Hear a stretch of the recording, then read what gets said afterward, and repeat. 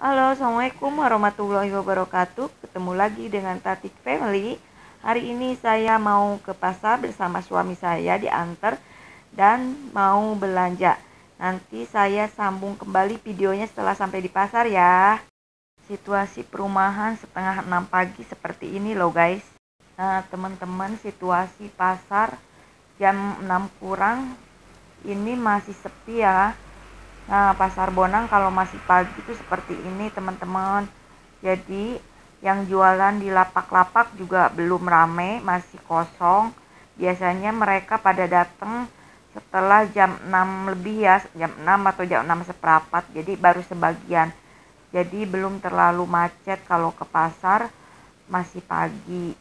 Nah, terlihat kan masih masih sepinya gitulah ibarat masih sepi masih sepi orang masih sepi yang jualan. Seperti itu teman-teman. Nah untuk parkirannya kita lihat ya apakah sudah rame atau belum. Nah teman-teman untuk parkirannya juga masih sepi termasuknya tuh. Cuma motor juga bisa dihitung lah biasanya ini padat banget. Ini sekelilingnya juga padat tapi ini masih sepi orang lalu lalang bawa motor juga masih terlihat satu dua ya jadi belum rame banget. Nih teman-teman saya tunjukkan situasi di dalam pasar Bonang seperti apa. Nih toko-toko masih pada tutup karena masih pagi. Kalau yang jual-jual kelontongan ataupun yang lapak-lapak sih udah rame. Nah seperti ini pasarnya. Pasarnya ya termasuk pasar tradisional cuma uh, semi modern lah jadi masih agak bersih. Nah untuk yang jual buah-buahan di lapak ini cuma satu dua orang aja. Kebanyakan sih sayuran ya sama makanan frozen. Nah ini saya mau beli pete. Favorit banget ini pete. Iya lagi banyak pete. Lagi murah sih petenya cuma kalau menurut aku kurang bagus sih. Tapi ya sudahlah nggak apa-apa terus saya mau beli jengkol juga karena suami saya minta balado jengkol. Biasanya saya setiap Sabtu atau Minggu tuh beli jengkol atau pete. Cuma sekarang lagi dikurangi. Untuk jengkolnya lagi mahal loh guys. Seperapat itu seperempat itu kena 15.000 ini untuk petenya 5 ribuan tapi ya gitu deh kurang bagus kalau menurut aku. Jadi aku harus pilih-pilih dulu yang tua yang yang bagus gitu yang masih seger. Cuma ya adanya seperti itu ya sudahlah. Beli seadanya aja. Dan saya mau beli 4 papan jadi 20 ribu ya guys. Semuanya 35 guys. Petenya 20 ribu sama jengkolnya 15.000 gitu. Walaupun mahal tetap dibeli karena memang suka banget makanan jengkol sama pete. Nah sekarang kita lanjut ke tempat yang basah yaitu tempat ikan daging dan ayam. Saya mau beli udang karena anak saya minta buat balado udang jadi saya beli udang dulu. Di sini ada udangnya tiga macem. Ada yang ukuran sedang 40.000 yang agak besar 45.000 dan yang besar tuh yang di tempat kuning itu 50.000 per setengah kilo guys. Dan akhirnya saya beli yang 40.000 per setengah kilo lumayan banyak juga sih setengah kilo. Cukuplah buat anak dua karena aku jarang makan udang gitu ya. Nah ini setengah kilo. Dan saya minta langsung kupasin kepala sama kulitnya.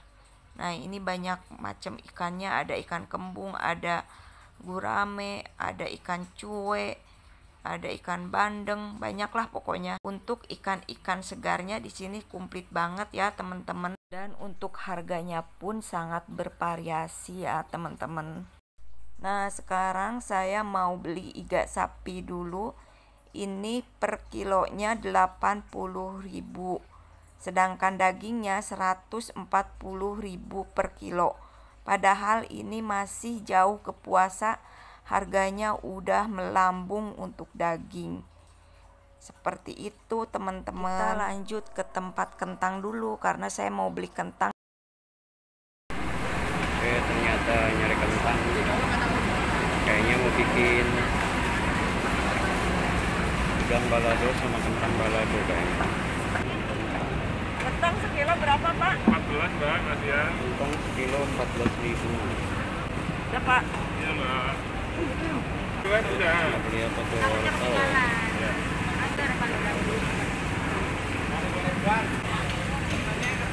Ini bawang bombay. Bawang bombay berapa tapi bawangnya nggak pakai bawang. Masih ada di ada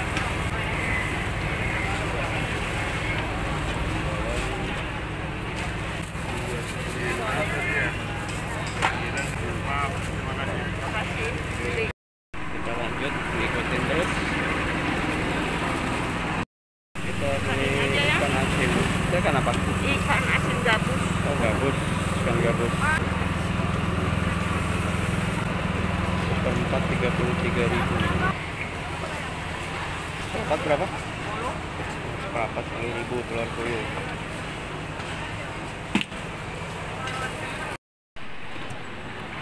Lalu beli sayur ini, Sayur apa namanya itu? sawi putih. Sayur sawi. Makan bubur. Kita lanjut sarapan bubur dulu, teman-teman. Nih, pasti kalau ke pasar beli bubur ini. Lagi. Lagi. Ini buburnya enak, sambalnya itu bener-bener sambal setan tuh. Terus harganya murah ini sini porsi kecil setengah itu 8.000 kalau satu porsinya 10.000. Buburnya kayak gini guys. Kalau aku makan bubur cukup kerupuk kacang aja. Pakai topping daging ayam ataupun yang lain. Karena kurang suka. Paling nanti dikasih sate aja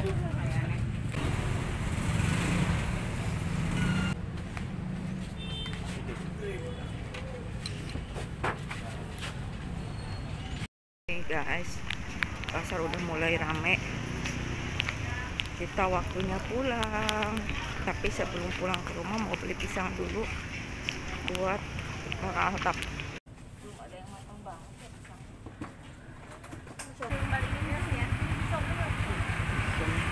Berapa sih? 12 ribu. 12. Alhamdulillah belanja udah selesai. Waktunya kita pulang. Alhamdulillah Robi Alamin akhirnya udah sampai rumah. Eh, tadi nggak sempet di videoin di jalan biar gak terlalu panjang videonya. Jadi sekarang udah nyampe rumah belanjaanku banyak. Kita unboxing ya seperti apa belanjaannya. Ini tadi beli pisang segini 12.000 ada berapa sisir ya? Ada empat sisir. Satu sisirnya seperti ini jadi ada empat sisir. Jadi beli sawi putih sayurannya beli terong beli terong sama beli kol kolnya seperapat bulat gini. Terus beli telur puyuh seperapat 10.000 beli udang setengah 40.000 nah beli jengkol beli pete. Beli iga tadi sekilo 80.000 sama beli sayuran tentang ikan asin dan cabai Nah, seperti itu perjalanan hari ini ke pasar. Saya tutup videonya sampai di sini. Kita ketemu lagi nanti di video berikutnya. Teman semua yang lihat video ini, mohon bantuannya untuk di like, di komen, and di subscribe. Terima kasih. Assalamualaikum warahmatullahi wabarakatuh. Dadah.